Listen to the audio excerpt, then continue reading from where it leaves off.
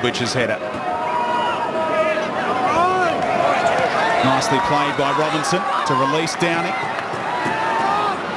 Rukavytsya peeled away. Allowed Downey to run into space. Harnwell again. Harnwell just enough to get past the.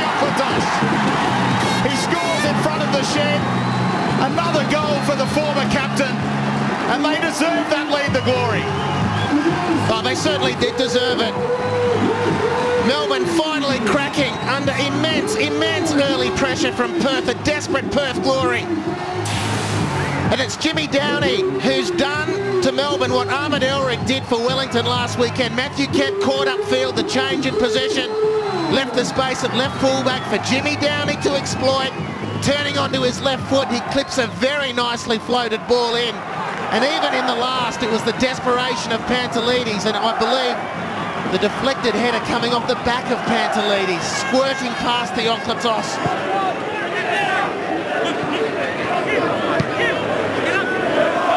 Colosimo towards Harnwell. Clearance straight into Brebner and a brace for Robinson.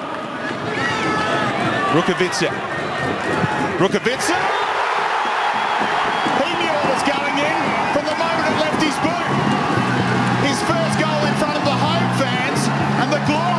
They're surely on their way to three points. 2-0 up. Oh, Brenton, you've just put the commentator's curse on the glory.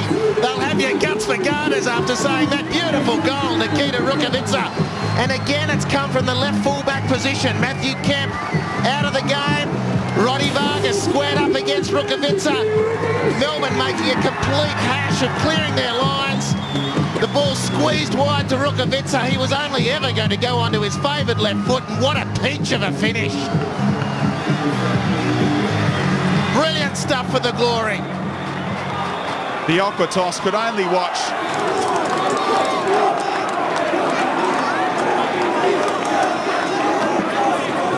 Matthew Kemp has gone over to take the corner in front of the travelling supporters.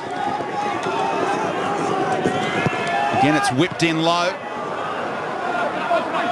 Prentice got the header away. Here's Caceres. Stunning goal from Adrian Caceres. He's got one back against his former club. What a strike. Brilliant strike, Adrian Caceres, another player who struggled to maintain the consistent faith of coach Ernie Merrick, but that'll do his team the world of good as Mitchell Prentice at full strength can only glance the ball into the path of a Melbourne player, and it's Adrian Caceres who lets rip with a fizzer for 2-1.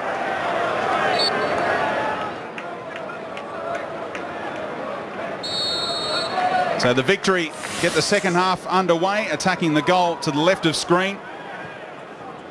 And they really wanted three points tonight, so they need two goals if they want to go away with a victory.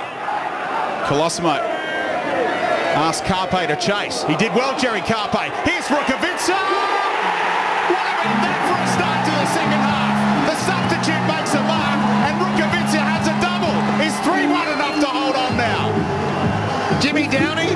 Jimmy who? What a goal! What a start to the second half for Perth Glory.